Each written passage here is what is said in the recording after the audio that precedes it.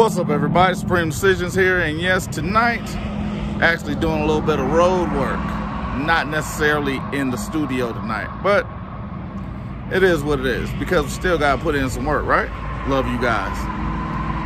Well, tonight, it goes into a next part, because one of the things I wanna talk about is the removal of different types of cases to federal court and the reasons why. But one of the biggest things about that that you run into most often is this thing called equal protection. The reason why you do or move an equal protection case to federal court from a state court setting is generally because you're not able to get your hell most of the time your actual complete case or even bits and pieces of your case heard and heard properly. So you have a removal which is dealing with, again, equal protection. Well, I'm going to get into a couple of those.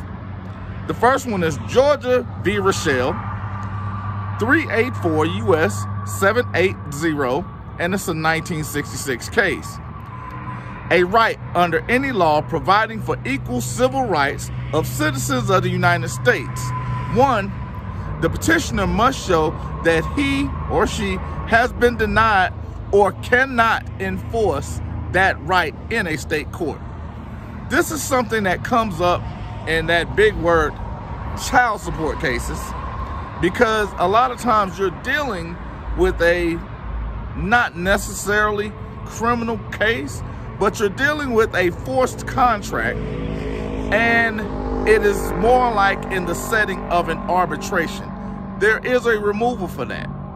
Or you're dealing with a family court case, which people have those issues, and you're not able, as a man for the most part, to get your side heard. One of these things to keep it lawful is going through a federal court removal. But again, Georgia v. Rochelle states the petitioner must show they have been denied and cannot enforce that right in state courts. The way you show it, you're gonna have to tune into the masterclass for that. But part two, the petitioner must show that right upon which the petitioner relies arises under a federal law providing for a specific civil right stated in the terms of, like in this case, a racial equality. It does not have to be a racial equality. It just has to be something that is done. Not sure why I put that in there, but generally that's going to fall under a 1443 removal. A second part of that is Bolling v. Sharpe, 347 US 497, and this is a 1954 case. So understand these removals are not new. They're just not exercised as often as they should be. The court observed that the Fifth Amendment of the United States Constitution lacked an equal protection clause, as in the 14th Amendment of the United States Constitution.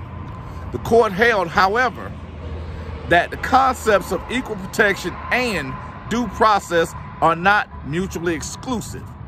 So again, when we're talking about cases being removed from state courts into federal courts, it's generally because of due process issues, because you have a right that is not being or cannot be enforced in a state court for one reason or another, which you have to show.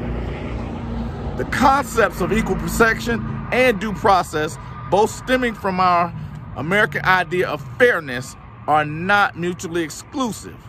Discrimination may also be unjustifiable as a viable source of due process. What that pretty much says in a nutshell, just kind of breaking it down for the layman. There are several pretty much levels to due process there are several levels to equal protection.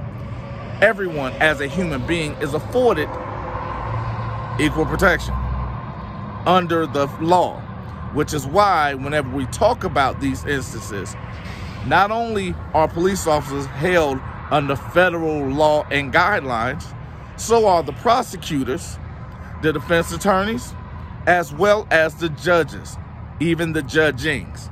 So keep that in mind as we go forward. Now, like I told you, I go deeper in my master class.